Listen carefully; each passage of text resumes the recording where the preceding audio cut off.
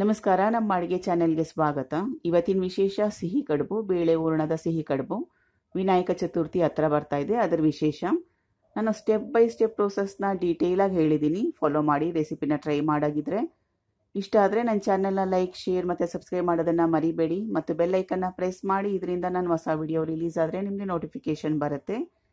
ಈಗ ಬೇಳೆ ಹೂರ್ಣದ ಕಡುಬು ಮಾಡೋ ವಿಧಾನ ನೋಡ್ಕೊಳ್ಳೋಣ.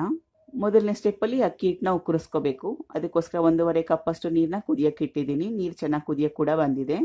ಚಿಟಿಕೆಯಷ್ಟು ಉಪ್ಪು.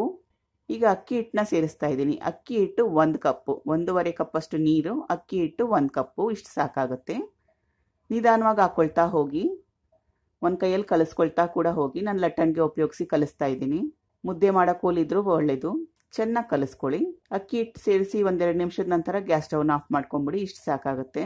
ಅಕ್ಕಿ ಇಟ್ಟು ಗಂಟ ಏನಾಗೋದಿಲ್ಲ, ಭಯಪಡೋ ಅವಶ್ಯಕತೆ ಏನಿರೋದಿಲ್ಲ, ಚೆನ್ನಾಗಿ ಕಲಿಸ್ಕೊಳ್ಳಿ. ಈ ಪ್ರಪೋರ್ಷನ್ನ ಕರೆಕ್ಟಾಗಿ ಫಾಲೋ ಮಾಡಿ, ಒಂದೂವರೆ ಕಪ್ಪಷ್ಟು ನೀರು, ಒಂದು ಕಪ್ಪಷ್ಟು ಅಕ್ಕಿ ಹಿಟ್ಟು ಈಗ ನಾನು ಚೆನ್ನಾಗಿ ಕಲಿಸ್ಕೊಂಡಿದ್ದೀನಿ. ಇದನ್ನ ಮತ್ತಷ್ಟು ಕೂಡ ಚೆನ್ನಾಗಿ ನಾದ್ಕೋಬೇಕು. ಈಗ ತುಂಬಾ ಬಿಸಿ ಇದೆ. ಸ್ವಲ್ಪ ಮಟ್ಟಕ್ಕಷ್ಟು ತಣ್ಣಗಾದ ನಂತರ ಮಾಡ್ಕೊಳ್ಳೋಣ. ಇದು ತಣ್ಣಗಾಗಷ್ಟರಲ್ಲಿ ನಾವು ಬೇಳೆ ಹೋರ್ಣನ ತಯಾರಿ ಮಾಡ್ಕೊಳ್ಳೋಣ. ಇದು ಬೇಯಿಸ್ಕೊಂಡಿರೋ ತೊಗರಿ ಬೇಳೆ ನಾನು ಪಾತ್ರೆಯಲ್ಲಿ ಬೇಯಿಸಿಟ್ಕೊಂಡಿದ್ದೆ, ಸುಮಾರು ಒಂದು ನೂರು ಗ್ರಾಮ್ಸಷ್ಟು ಅಥವಾ ಒಂದು ಕಪ್ಪಷ್ಟು. ಕುಕ್ಕರಲ್ಲಿ ಬೇಯಿಸ್ಕೊಂಡ್ರೆ ತುಂಬಾ ಪೇಸ್ಟ್ ಥರ ಆಗೋಗುತ್ತೆ. ಅದಕ್ಕೋಸ್ಕರ ಪಾತ್ರೆಯಲ್ಲಿ ಬೇಯಿಸ್ಕೊಂಡ್ರೇ ಒಳ್ಳೆಯದು ನೂರು ಗ್ರಾಮ್ಸ್ ಅಷ್ಟು ತೊಗರಿಬೇಳೆ ಬೇಯಿಸ್ಕೊಂಡಿರೋದು. ಈ ಬೇಳೆ ಕಟ್ಟನ್ನ ನೀವು ರಸಂ ಥರ ಕೂಡ ಉಪಯೋಗಿಸ್ಬೋದು. ಅಥವಾ ಹೋಳಿಗೆ ಸಾರು ಥರ ಕೂಡ ಮಾಡ್ಕೋಬೋದು. ಈಗ ರುಬ್ಕೋಬೇಕು. ಮಿಕ್ಸಿ ಜಾರ್ ತೊಗೊಂಡಿದ್ದೀನಿ. ಮೊದಲಿಗೆ ಬೇಳೆ ಬೇಯಿಸ್ಕೊಂಡಿರೋದನ್ನು ಸೇರಿಸ್ಕೊಳ್ಳೋಣ. ಇದು ಹಸಿ ತೆಂಗಿನ ತುರಿ. ಒಂದು ದೊಡ್ಡ ತೆಂಗಿನಕಾಯಲ್ಲಿ ಅರ್ಧ ಚಿಪ್ಪಷ್ಟು ತುರಿದಿಟ್ಟಿದ್ದೆ ಎರಡು ಏಲಕ್ಕಿ ಸಿಪ್ಪೆ ಸಹಿತವಾಗಿ. ಇದಕ್ಕೆ ನೀರನ್ನ ಸೇರಿಸಿ ರುಬ್ಕೊಳ್ಳೋ ಅವಶ್ಯಕತೆ ಏನಿಲ್ಲ. ಬೈ ಚಾನ್ಸ್ ರುಬ್ಕೊಳ್ಳೋಕ್ಕೆ ಮಿಕ್ಸಿಯಲ್ಲಿ ತುಂಬಾ ಕಷ್ಟ ಆಗ್ತಾ ಇದ್ರೆ ಒಂದೆರಡರಿಂದ ಮೂರು ಟೇಬಲ್ ಸ್ಪೂನ್ ಅಷ್ಟು ನೀರನ್ನ ಸೇರಿಸಿ ತುಂಬ ಜಾಸ್ತಿ ನೀರು ಸೇರಿಸ್ಕೊಳಕ್ಕೆ ಹೋಗಬೇಡಿ. ಅಥವಾ ನಿಮ್ಮ ಮನೇಲಿ ಏನಾದರೂ ಒರಳಿದ್ರೆ ಒರಳಲ್ಲಿ ರುಬ್ಕೊಂಡ್ರು ಚೆನ್ನಾಗೇ ಇರುತ್ತೆ. ನಾನು ಈ ರೀತಿಯಾಗಿ ರುಬ್ಕೊಂಡಿದ್ದೀನಿ. ಮುಂದಿನ ಸ್ಟೆಪ್ಪು ಬೆಲ್ಲನ ಕರಗಿಸ್ಕೋಬೇಕು. ಬೆಲ್ಲ ಕರಗಿಸ್ಲಿಕ್ಕೋಸ್ಕರ ಪಾತ್ರೆ ಇಟ್ಕೊಂಡಿದ್ದೀನಿ. ಮುಕ್ಕಾಲು ಕಪ್ಪಷ್ಟು ಬೆಲ್ಲ. ಒಂದು ಕಪ್ಪಷ್ಟು ತೊಗರಿಬೇಳೆ ತೊಗೊಂಡಿದ್ವಲ್ಲ, ಮುಕ್ಕಾಲು ಕಪ್ಪಷ್ಟು ಬೆಲ್ಲ ಇಷ್ಟು ಸಾಕಾಗುತ್ತೆ. ತುಂಬಾನೇ ಸಿಹಿ ಸೇರಿಸಿದ್ರು ಕೂಡ ಚೆನ್ನಾಗಿರಲ್ಲ.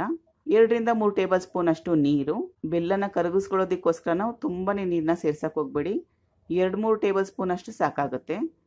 ಇದು ಒಂದೆಳೆ ಪಾಕ ತೆಗೆಯೋ ಅವಶ್ಯಕತೆ ಏನಿಲ್ಲ. ಚೆನ್ನಾಗಿ ಕರಗಿಸ್ಕೊಂಡ್ರೆ ಸಾಕು. ಚೆನ್ನಾಗಿ ಕರಗಿದ ನಂತರ ಒಂದೆರಡು ನಿಮಿಷ ಕುದಿಸ್ಕೊಂಡೆ ಈ ರೀತಿಯಾಗಿ. ಪಾಕ ಏನು ಬೇಡ. ಈಗ ರುಬ್ಕೊಂಡಿದ್ನಲ್ಲ, ತೊಗರಿ ಬೇಳೆ ಕಾಯಿ ತುರಿ, ಅದನ್ನು ಸೇರಿಸ್ತಾ ಇದ್ದೀನಿ. ಸೇರಿಸಿದ ನಂತರ ಒಮ್ಮೆ ಚೆನ್ನಾಗಿ ಕಲಸಿ. ಇದು ಒಂದು ಪರ್ಫೆಕ್ಟ್ ಟೆಕ್ಸ್ಚರಿಗೆ ಬರಬೇಕು. ಉಂಡೆ ಕಟ್ಟಿದ್ರೆ ಬರಬೇಕು ಅಲ್ಲಿವರೆಗೂ ನೀರನ್ನ ಹಿಂಗಿಸ್ಕೊಳ್ತಾ ಹೋಗಬೇಕು. ಲೋ ಫ್ಲೇಮಲ್ಲಿ ಇಟ್ಕೊಳ್ಳಿ. ಸುಮಾರು ಒಂದು ಐದರಿಂದ ಆರು ನಿಮಿಷದವರೆಗೂ ಬೇಕಾಗುತ್ತೆ. ಈಗ ಸುಮಾರು ಒಂದು ಐದರಿಂದ ಆರು ನಿಮಿಷದವರೆಗೂ ಚೆನ್ನಾಗಿ ಬೇಯಿಸ್ಕೊಂಡಿದ್ದೀನಿ. ಎಕ್ಸ್ಟ್ರಾ ಏನು ನೀರಿತ್ತಲ್ಲ ಅದೆಲ್ಲ ಹಿಂಗೋಗಿದೆ. ತಣ್ಣಗಾದ್ಮೇಲೆ ಮತ್ತಷ್ಟು ಗಟ್ಟಿಯಾಗುತ್ತೆ. ಈಗ ಇದ್ದಿಷ್ಟು ಸಾಕು. ಈಗ ನಾವು ಅಕ್ಕಿ ಹಿಟ್ಟು ನಾವು ಕುರಿಸ್ಕೊಂಡಿದ್ವಲ್ಲ, ಅದನ್ನು ಚೆನ್ನಾಗಿ ನಾದ್ಕೋಬೇಕು. ಬೇರೆ ಪ್ಲೇಟಲ್ಲಿ ಇಟ್ಕೊಂಡು ನಾದ್ಕೊಳ್ತಾ ಇದ್ದೀನಿ. ಬೈ ಚಾನ್ಸ್ ಹಿಟ್ಟೇನಾದ್ರೂ ತುಂಬಾ ಡ್ರೈ ಇದ್ದರೆ ಒಣ ಇದ್ದರೆ ಒಂದು ಎರಡು ಮೂರು ಟೇಬಲ್ ಸ್ಪೂನ್ ಅಷ್ಟು ಬಿಸಿ ನೀರನ್ನ ಚಿಮುಕ್ಸಿ ನಂತರ ನಾದಿ. ಈಗ ನಾನು ಅಕ್ಕಿ ಹಿಟ್ಟನ್ನ ಚೆನ್ನಾಗಿ ನಾದ್ಕೊಂಡಿದ್ದೀನಿ. ಮುಂದಿನ ಸ್ಟೆಪ್ಪು ಕಡುಬುಗಳನ್ನ ಮಾಡ್ಕೊಳ್ಳೋದು. ಬೈ ಚಾನ್ಸ್ ನಿಮ್ಮ ಮನೆಯಲ್ಲಿ ಹಚ್ಚಿತ್ತು ಅಥವಾ ಮೌಲ್ಡ್ ಇದ್ರೆ ಅದನ್ನೇ ಉಪಯೋಗಿಸಿ ನಾನು ಕೈಯಲ್ಲೇ ಮಾಡ್ತಾ ಇದ್ದೀನಿ. ಸ್ವಲ್ಪ ಅಕ್ಕಿ ಹಿಟ್ಟನ್ನ ಸೈಡಲ್ಲಿ ಇಟ್ಕೊಂಡಿರಿ, ಕಡುಬು ಮಾಡೋದಕ್ಕೋಸ್ಕರ ಬೇಕಾಗುತ್ತೆ. ನಾನು ಯಾವ ರೀತಿ ತೋರಿಸ್ತಾ ಇದ್ದೀನಲ್ಲ, ನೀವು ಅದೇ ರೀತಿಯಾಗಿ ಮಾಡ್ಕೊಳ್ತಾ ಹೋಗಿ. ನಾನು ಮೀಡಿಯಮ್ ಸೈಜ್ ಕಡುಬುಗಳನ್ನ ಮಾಡ್ತಾ ಇದ್ದೀನಿ. ಸಣ್ಣ ಲಿಂಬೆಹಣ್ಣು ಗಾತ್ರದ ಹಿಟ್ಟು ತೊಗೊಂಡಿದ್ದೀನಿ.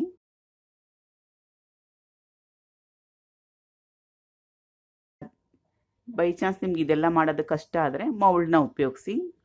ನಾನು ಈ ರೀತಿಯಾಗಿ ಬಟ್ಲು ಶೇಪಲ್ಲಿ ಮಾಡ್ಕೊಂಡಿದ್ದೀನಿ. ಇದಕ್ಕೆ ಸ್ಟಫಿಂಗ್ ಮಾಡ್ಕೋಬೇಕು. ಒಂದು ಟೇಬಲ್ ಸ್ಪೂನ್ ಅಷ್ಟು ಬೇಳೆ ಹೂರ್ಣ.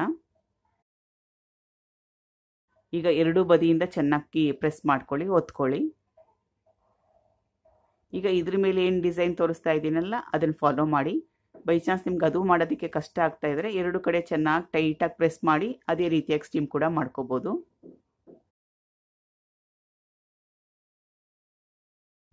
ಮಿಕ್ಕಿರೋ ಹಿಟ್ಟಿಗೆ ಸೇಮ್ ಪ್ರೊಸೆಸ್ನ ಫಾಲೋ ಮಾಡಿ.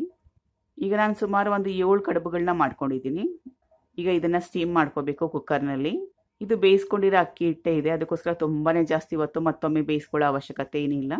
ಐದು ನಿಮಿಷ ಐ ಫ್ಲೇಮಲ್ಲಿ ಇಷ್ಟೇ ಸಾಕಾಗುತ್ತೆ. ಈಗ ಸ್ಟೀಮ್ ಆಗಿದೆ. ಬೇಳೆ ಓರಣದ ಸಿಹಿ ಕಡುಬು ತಯಾರಾಗಿದೆ. ಒಮ್ಮೆ ಈ ರೆಸಿಪಿನ ಗಣಪತಿ ಹಬ್ಬಕ್ಕೋಸ್ಕರ ಟ್ರೈ ಮಾಡಿ. ಇಷ್ಟ ಆದರೆ ನನ್ನ ಚಾನಲ್ನ ಲೈಕ್ ಶೇರ್ ಮತ್ತು ಸಬ್ಸ್ಕ್ರೈಬ್ ಮಾಡೋದನ್ನು ಮರಿಬೇಡಿ. ಥ್ಯಾಂಕ್ ಯು ಫಾರ್ ವಾಚಿಂಗ್ ಧನ್ಯವಾದಗಳು.